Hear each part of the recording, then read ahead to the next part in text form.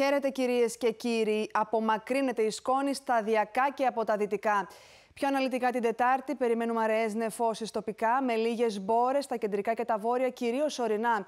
Οι άνεμοι από δυτικές διευθύνσεις και στα Δωδεκάνησα νότι έως 7 μποφόρ. Η θερμοκρασία το μεσημέρι θα φτάσει στα δυτικά τους 22 βαθμούς έως 25 στα υπόλοιπα. Στην Αττική περιμένουμε αραιές νεφώσεις. Η άνεμοι δυτική έως 4 μποφόρ. Η θερμοκρασία από 14 έως 25 βαθμούς. Στη Θεσσαλονίκη θα έχουμε αρκετή ηλιοφάνεια. Η άνεμοι ασθενείς. Η θερμοκρασία από 13 έως 23 βαθμούς.